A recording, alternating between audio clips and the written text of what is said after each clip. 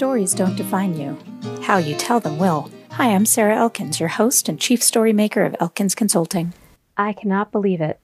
Next week will be the 100th episode of this podcast. Your stories don't define you, how you tell them will. It has been quite a journey getting to this point, and I haven't done it alone. That's why the 100th episode's theme is community and I'm looking forward to sharing a variety of theories, descriptions, and ideas about that theme from members of the community created through this podcast. Please join me next week to celebrate this milestone. Your stories don't define you, but how you tell them definitely will. It's not what happens in your life that creates your identity, yourself with a capital S. It's how you talk about those things. As you listen to this episode, I encourage you to think about the stories you share about your work and your life and what it is that motivates you to move forward, to take that next step.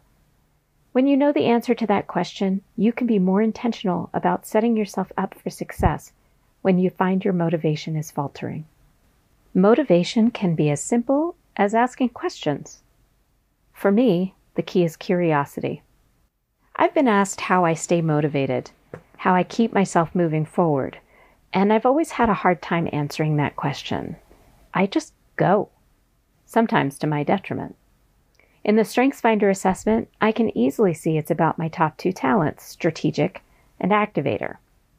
But as I was hiking on the mountain behind my house yesterday, I realized I don't just go. I was breathing hard as I made that first ascent, following my big dog up to the first high point on the mountain. And I found it frustrating, really. I take that path multiple times a week, and it's still hard for me. It's a challenge to keep my pace as my heart pounds and my hips ache.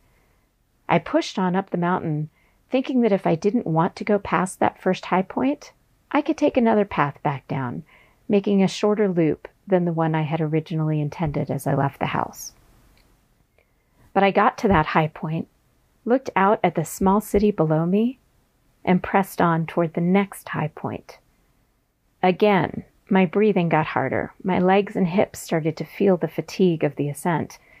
And I told myself I could take the next loop back down and go to my nice warm house for a hot cup of tea. I also reminded myself that once I started back down the mountain, it wasn't going to be so much work, and my heart rate would slow. Knowing that, I looked up the path to see a familiar curve, and I chose to keep moving up the mountain, eventually getting to the summit. The mountain is so familiar to me.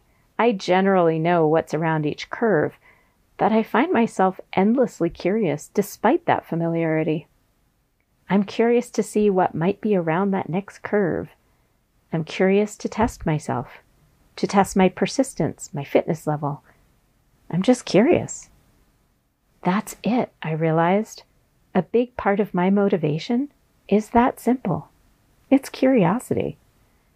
There are days, blustery and cold, or far too hot and dry, that I get to a high point on the mountain and take the shorter, easier route to go back down, rather than explore or choose to go to the summit.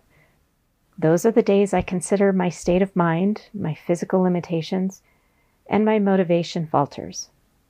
But if I didn't have those days, I really wouldn't be able to relate to my coaching clients because everyone has those days. Curiosity is what motivates me, and curiosity can be cultivated. My strengths are my strengths, but curiosity is part of my character. What will happen next? What is my challenge this time? What will I learn who will I meet?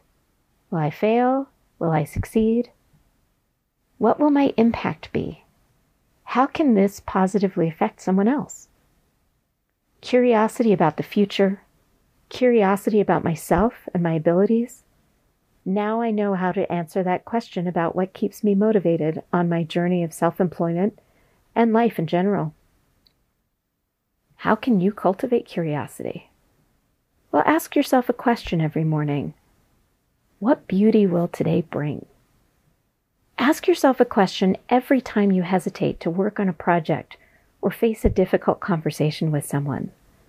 What will happen next when this is complete? What positive impact can I have in this conversation? Those questions will eventually become part of your daily routine and will become instinct, creating opportunities for deeper observation and motivation. If curiosity isn't something that truly motivates you, find out what does so you can use that with intention. Thank you for listening to Your Stories Don't Define You, How You Share Them Will. Please visit my website for more podcast episodes, blog posts, and information about how I can help you develop and share your stories at elkinsconsulting.com.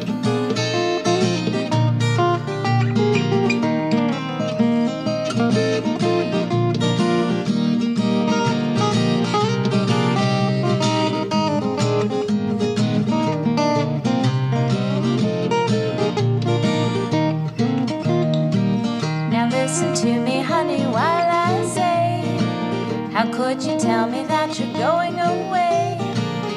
Don't say